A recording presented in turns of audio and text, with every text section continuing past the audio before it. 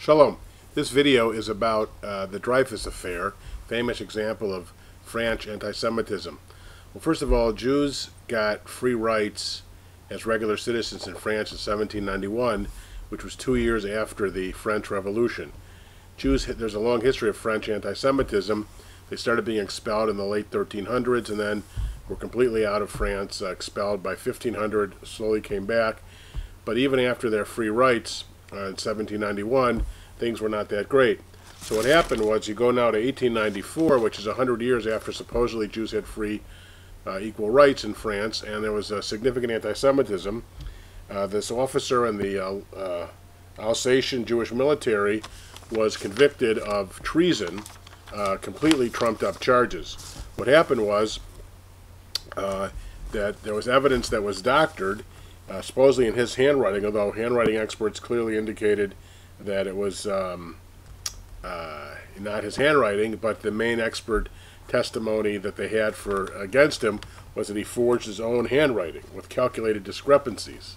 Kind of ridiculous charge that he was committing in a secret memorandum found in uh, wastebasket at the German embassy French military secrets.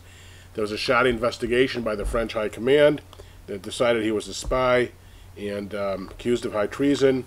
The right-wing uh, papers and the Catholic press uh, kind of betrayed their uh, approval. He was tried, found guilty, and sentenced to Devil's Island. And finally, after it was discovered that pieces of evidence implicating him had been forged, and the real spy who was arrested, it was years before his innocence was actually officially acknowledged. Uh, but what really happened was it startled the Jewry of France and Zola, in a, fa a, famous article called J'accuse, uh, talked about the incident, and it was one of the things that inspired and triggered enthusiastic Zionism among men, many uh, Jewish lay people, including Theodore Herzl.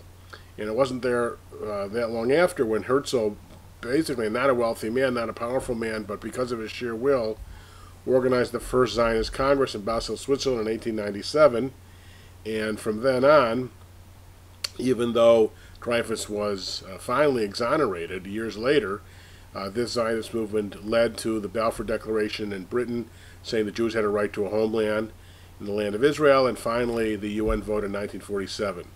So an example of interesting, fairly late French anti-Semitism, uh, 1894, and then finally Dreyfus exonerated in 1906. But a very interesting historical moment, uh, and uh, one that had great consequences for historical uh, the world and the Jewish